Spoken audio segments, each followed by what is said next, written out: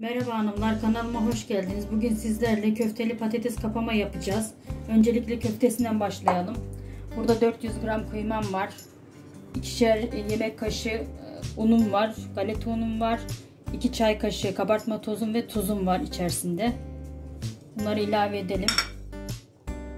Sarımsağım, soğanım var. 2 diş sarımsak, bir baş soğan, karabiber, kekik, pul biberim var. Birer tatlı kaşığı.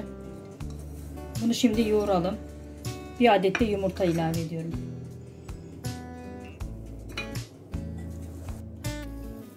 Köftemizi bu şekilde yoğurduk. 15 dakika dinlendirdik. Büyük büyük toplar alıyoruz. Ondan sonra yağda çevirerek kızartacağız. Çok fazla kızartmanıza gerek yok fırına gireceği için.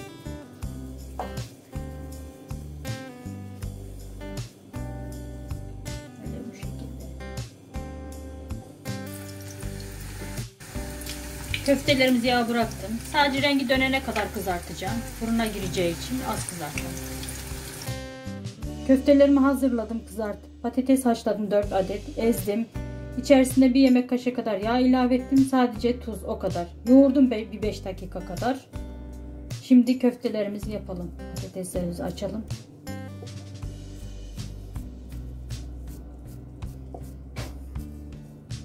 Bu şekilde.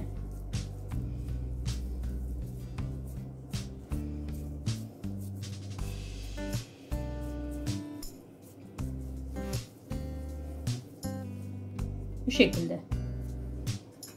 Bir kez daha yapalım.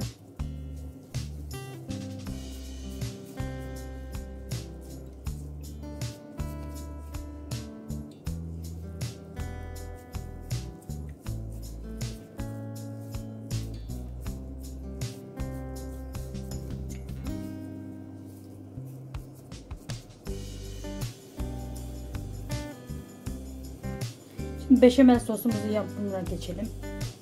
Şimdi beşamel sosumuzu hazırlayacağız. Bir yemek kaşığı kadar margarin koydum. Biraz da sıvı yağ ilave ettim. Eridi. Yağımız eridi. Şimdi unumuzu ilave edelim. İki tepeleme kaşık koyacağım. Tepeleme konuşamadım pardon. Biraz kavuralım.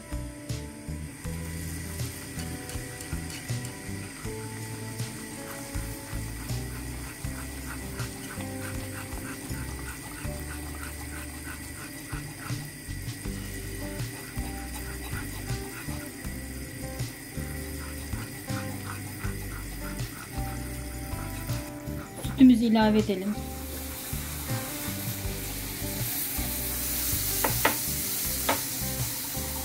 Bir bardak daha ilave edeceğim.